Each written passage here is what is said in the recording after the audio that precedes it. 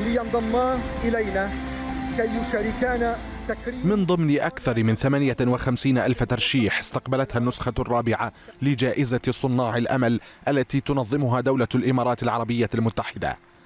تالا الخليل من العراق. ألف مبروك لتالا الخليل من العراق.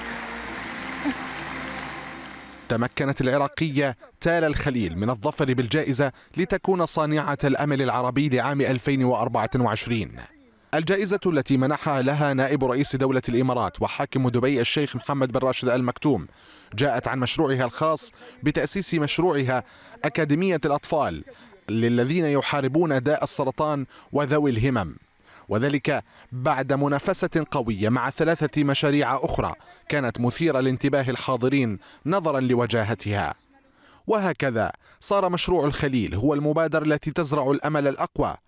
الدكتورة تالا خليل هي صيدلانية عراقية من مدينة البصرة اشتهرت بمبادراتها الداعمة لأصحاب الهمم من الأطفال والمصابين بمرض السرطان. منذ كانت طالبة كرست نفسها لمساعدتهم ومنحهم حياة أفضل. بدأت الدكتورة تالا مبادراتها داخل مستشفى البصرة للأطفال وأسست أكاديمية المحاربين عام 2016 نجحت في تغيير حياة أكثر من 500 طفل وتسعى لتحقيق حلمها بمساعدة جميع أطفال العالم. وهي بذلك الإنجاز. تجدد التأكيد على أن العراق بلد النجاحات الذي يفاخر العالم بإبداع أبنائه وبناته.